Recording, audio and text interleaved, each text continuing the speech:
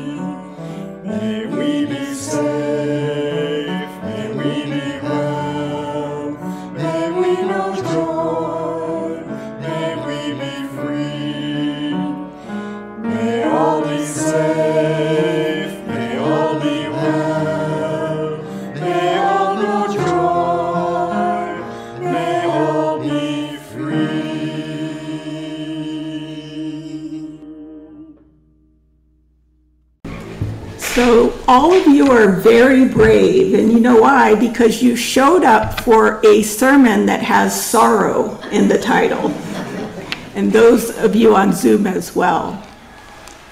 So the poem that I'm going to be reading to you today is from Kwame Dawes, and the title is When Light Leaves Her Eyes. And I want you to think about times in your life where your sorrow was so deep that the light left your eyes. Who owns you? There is in the eyes of those who have lost the bodies of their impossible loves.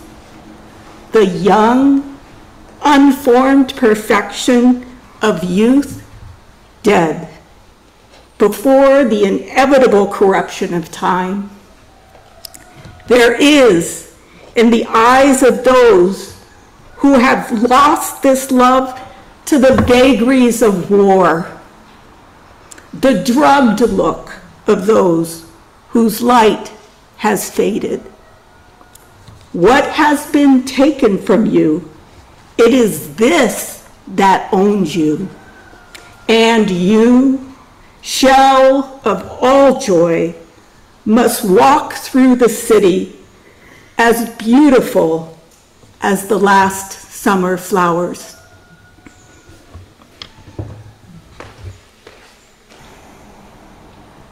Thank you, Noreen. And thank you, Lorraine. As you've heard, I'm one of the lay leaders at the UU Coastside community, UUCC, centered in Half Moon Bay. Our two congregations somewhat know each other. See? Um, mainly through shared pulpit class of uh, 2021 2022. Members of three congregations participated. This congregation, my congregation at UUCC, and a pair from UUSM, the UUs of San Mateo. And in July of 2022, Reverend Russ drove up to speak at UUCC at Oddfellows Hall. That's the space that we rent uh, for our services. And last August, Sylvia Forsythe spoke to UUCC over Zoom. So our two congregations somewhat know each other. And today, I want to speak about sorrow, which seems to have packed them all in. Um, I want to speak from my own experience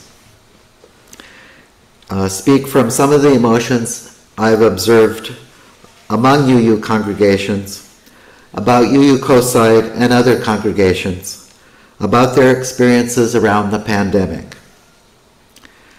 And some of it involves sorrow.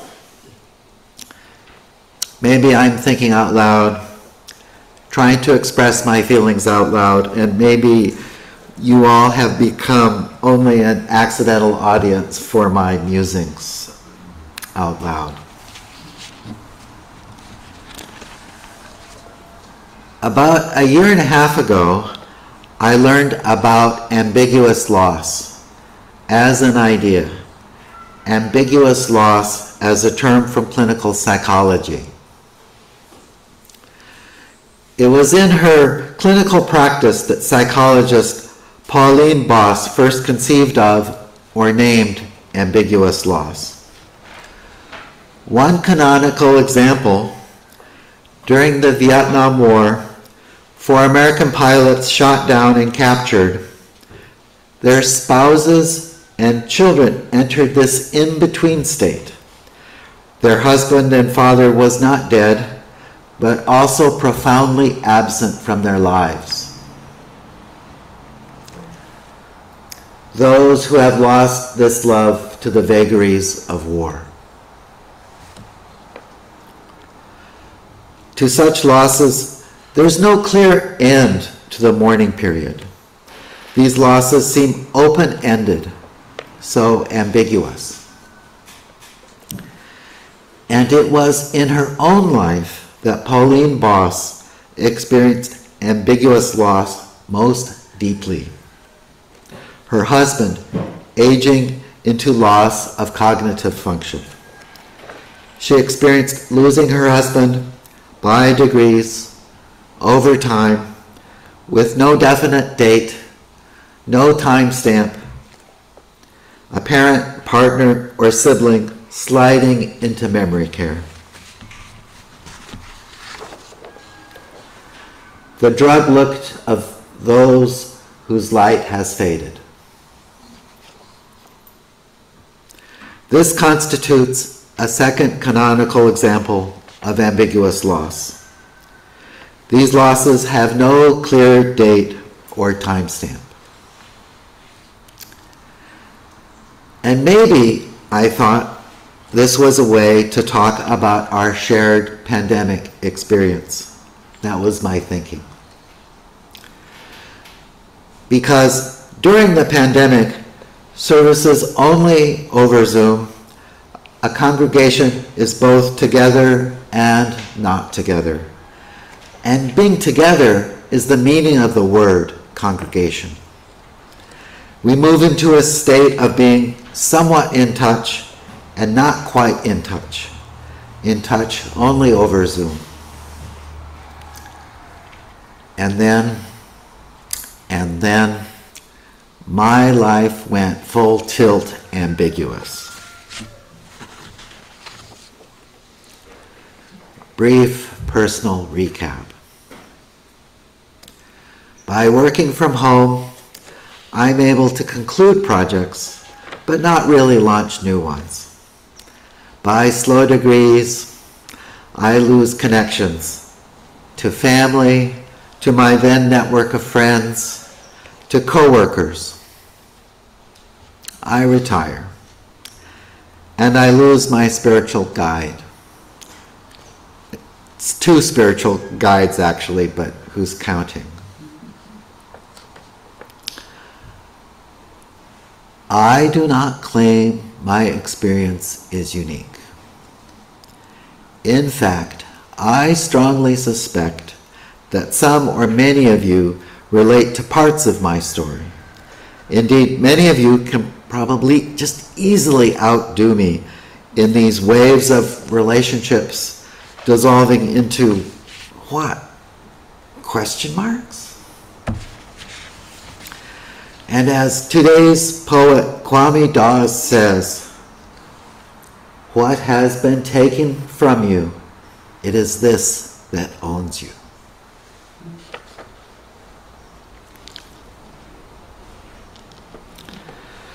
So, under stress, there is perhaps a natural tendency to retreat pull back, help less, close down.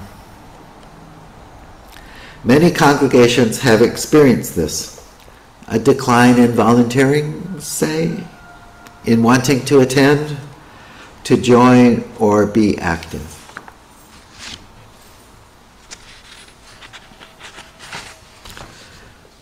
And anger, anger, I guess, is an option lashing out, recasting a toe stub or stumble of another into a hill of insult and a mountain of woe.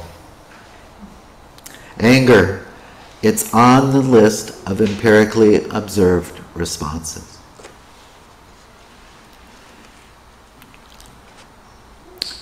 Anyway, there is a third response, a third conceivable response. Paradoxical either in its origin or by its effect. And that is to name the pain as pain, the grief as grief, and the never ending open ended sorrow as sorrow. To call out our own broken heart as a broken heart. Naming the emotions you feel, naming them to yourself, maybe to others, maybe by getting the name right, saying the issue out loud, maybe that helps.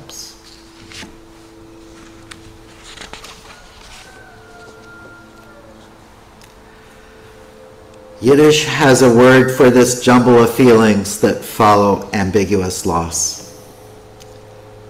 Say broken Kate.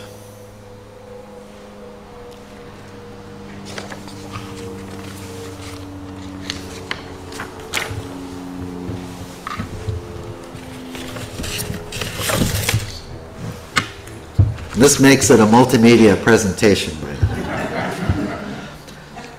so broken Kate has an approximate cognate in English, brokenness. If that helps you latch onto these four consonant reach rich syllables. So broken kite is a quality of brokenness that suggests something not quite needing a quick fix a sort of bittersweet wisdom state. To be held, stood over, contemplated, maybe even honored.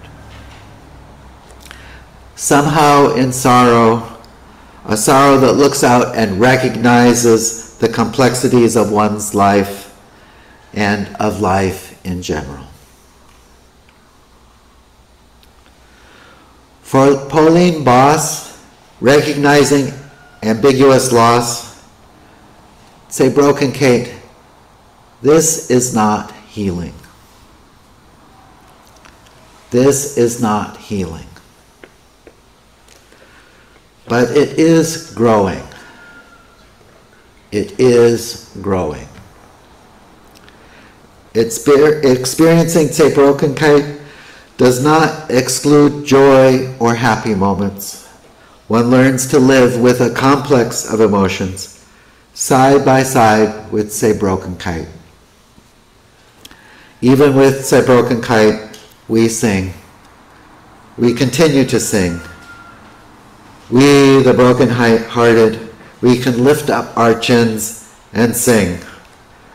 To sing as if there is more love somewhere.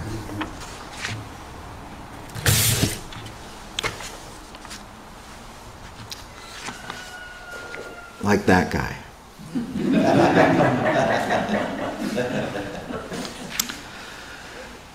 I am reminded of the funeral of my PhD advisor. He died of Parkinson's disease many years ago after his initial diagnosis. Sort of by accident, at his funeral, I encounter his widow, face to face. She just exiting the sanctuary, me trying to re enter the sanctuary. She looked at me. She made eye contact with me. I, who was important to her world, unimportant to nearly the whole world. And she said, Hi. She was kind.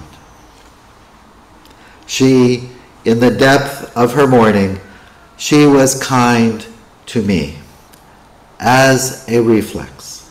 She was kind because she had primed herself to be ready to be kind. And from this kindness done to me 20 years ago, is born a message I now wish to pass on to all of you.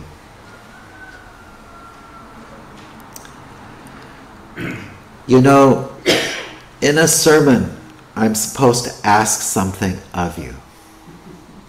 To work around toward issuing all of you a call to action. That's the term of art, a call to action.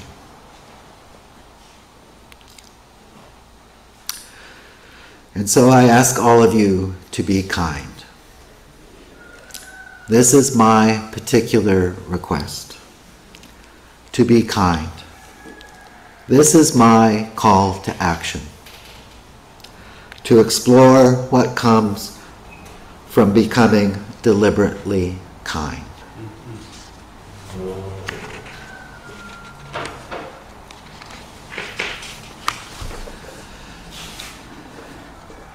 Let me just say a little bit more about kindness. In today's metta chant, the word metta comes from Pali, the language of much of Buddhist scripture.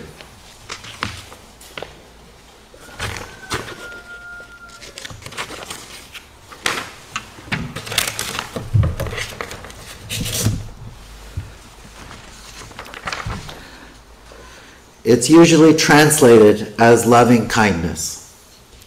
And the idea of metta, of loving kindness, it is that by reciting these words, you shift your view, our view, of the world toward being kinder. Psychologists have a concept, the default mode network.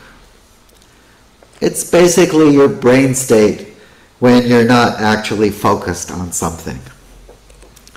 It's more stable than a mood and more adaptable than, say, your base personality.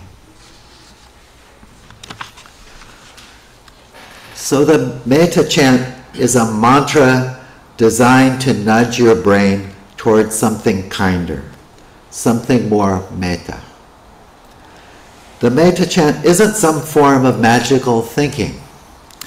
It's a means of nudging your default mode network toward a kinder state, becoming kinder, a kinder person by default. And I hope you can see how practicing such loving kindness can coexist with sorrow, can coexist with, say, broken kite like co travelers, different from one another, but also traveling comfortably together.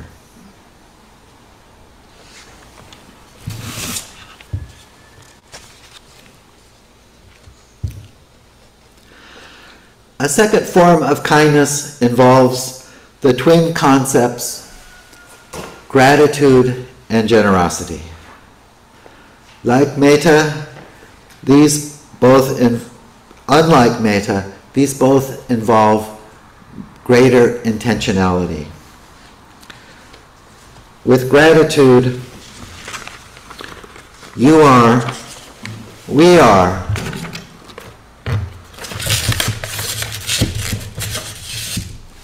expressing our thanks for something verbally, with words, if only to ourselves. And I hope you can see how a little practice can turn gratitude into a habit of regular thought. Like, hurrah, so many of you showed up. Some even choosing to sit in the front row. or, I really enjoyed hearing that rooster chatter outside the sanctuary. I'm pretty sure you noticed him too.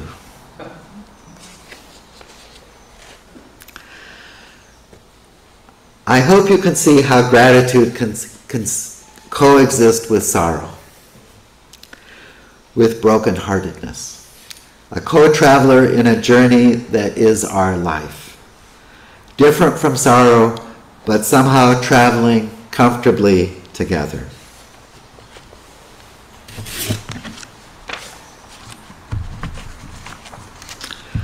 Generosity is the action oriented sister to gratitude.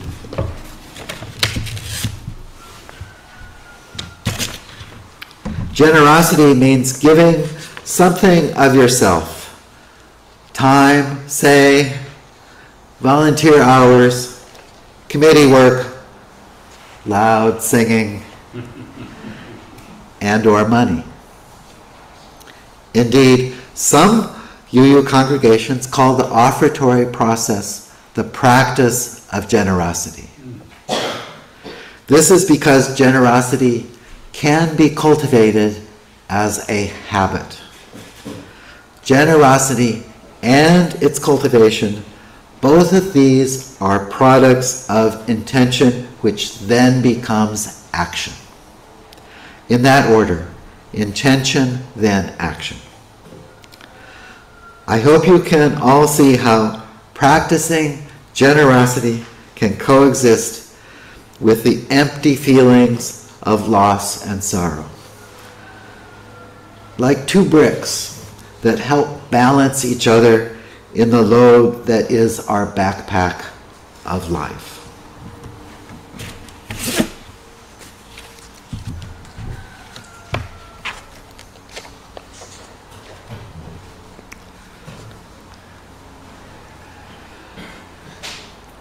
A third manifestation of kindness is chesed. Chesed is a Hebrew word often translated as, well, loving kindness.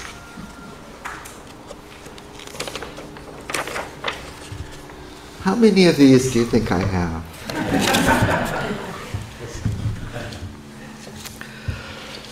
All right. So, unlike metta loving kindness, chesed involves deeds. Unlike generosity, chesed involves deeds of kindness not asked for and not actually all that convenient. To me, chesed is best described by this example. If you help a neighbor to carry something and it's on your way, then it's not chesed. If, on the other hand, you help your neighbor carry something and it's out of your way, that's chesed. Chesed consists of good deeds done in spite of their inconvenience. In my own particular, my own peculiar life, my clearest acts of chesed involve some version of elder care, if that helps clarify the concept. Caregiving involves a lot of chesed. Give us this day our daily chesed. Which brings me to the chesed stories. Like this one for Carmel, an elderly nearby neighbor with mobility issues, particularly around stairs. Every morning before 10 a.m., I walk to Carmel's house, bring up her newspaper and yesterday's mail, up the stairs to her front door, and then take down a bowl of birdseed, which I scatter on the ground, mainly for the finches. Mission Carmel. That's what my wife and I call this task. And Carmel's neighborhood cat seems to have taken a liking to me. A white and black cat that seems to like me coming around comes by for a few strokes. This cat is not Carmel's, as far as I know, but is, like me, a bird watcher. Although perhaps doing so with different underlying values. One day, Carmel's daughter, visiting, comes out. She says, You know, you know, I know you're from a church. I just want you to know you're not going to get anything when my mother dies. yes, I know. And Carmel seems to like me fetching up her mail. And this cat seems to like me too. Hesed stories are all like this. Person X does Hesed for person Y, and person Z expresses confusion. Like, like why? In Hesed stories, person Z, person Z expresses confusion rather than gratitude. Like, it doesn't even come to mind. Like saying thank you doesn't even occur to person Z as an option. That's the source of the underlying comedy. And that cat comedy sort of helps too, the presence of a not very effective predator sort of tickling our imagination. Give us this day our daily chesed. Chesed is the form that kindness takes when you no longer filter prospective tasks by your per- personal convenience or inconvenience. And I put this idea out there in hopes of enriching our common vocabulary around kindness.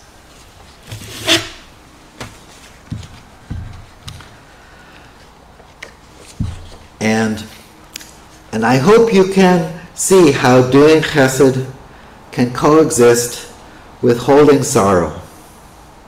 Something like, my world hurts so much, so how big a deal is a little incremental inconvenience anyway?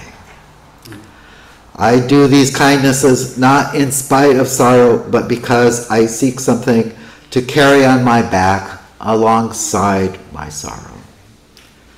And as a co traveler with my sorrow, different yes and weighty yes, and also helping me to bear the weight of sorrow with a balancing weight the weight of being inconvenienced by some act of kindness.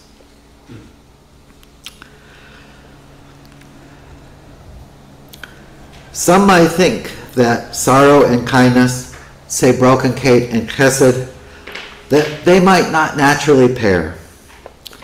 But as my advisor's widow taught me, simply when she said hi to me, I say they do. They do indeed go together. Poet Naomi Shihab Nye says it this way Before you understand what kindness really is, you must lose things. And she continues Before you know that kindness is the deepest thing inside, you must know sorrow as the other deepest thing. You must wake up with sorrow. You must speak it till your voice catches the thread of all sorrows and you see the size of the cloth. Then it is only kindness that makes sense anymore. Only kindness that ties your shoes and sends you out into the day to gaze at bread. Only kindness that raises its head from the crowd of the world to say, It is I that you have been looking for. And then goes with you everywhere, like a shadow or a friend.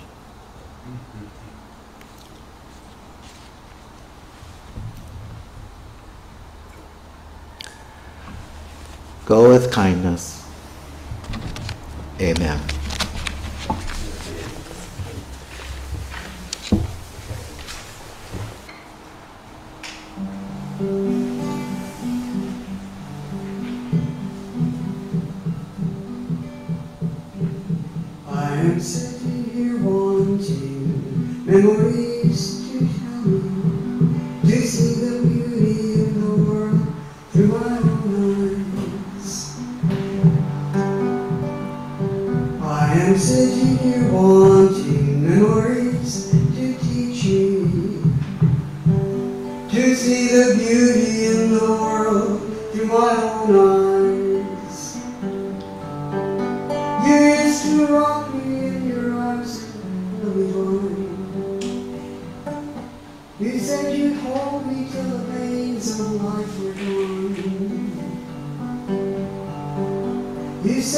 comfort me in times like these, and now I need you.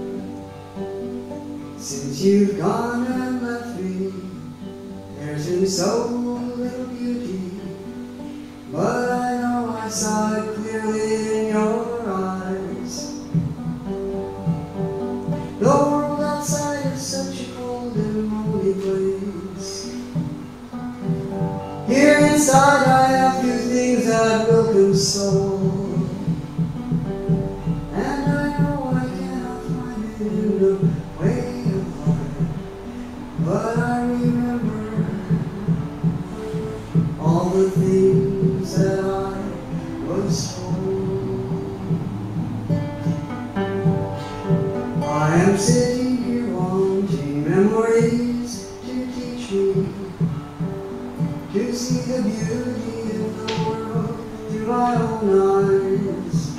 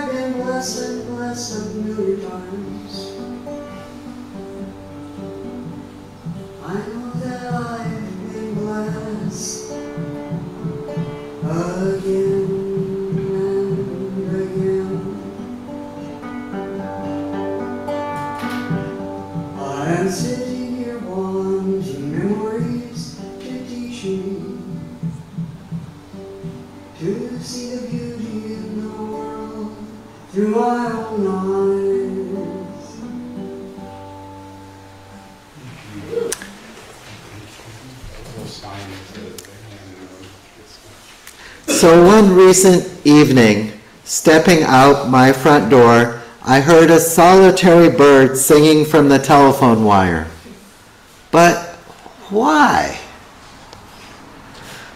I regularly feed birds in the morning.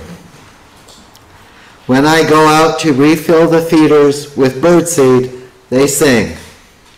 They chatter. It's morning. The day is just beginning Breakfast's arriving. The warm sun is coming. Time to mark off territory. There are reasons to sing in the morning. But why sing in the evening?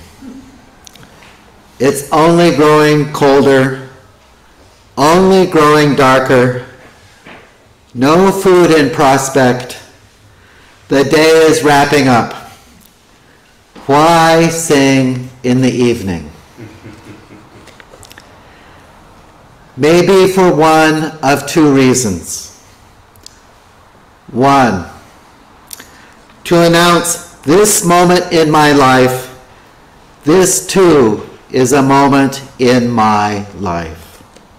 And I sing because each moment is beautiful, even in the lengthening shadows. It's a default mode network thing. And two,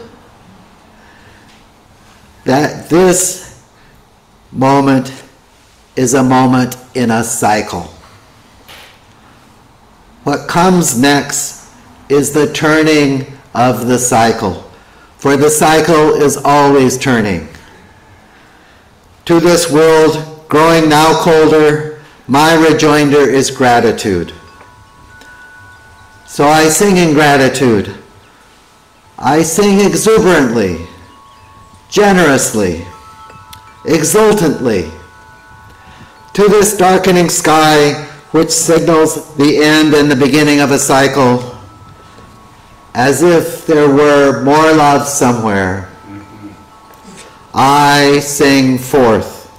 I sing in offering, offering in this way new hope. I offer my song to those that choose to listen and to the universe, which is always listening. Go in peace.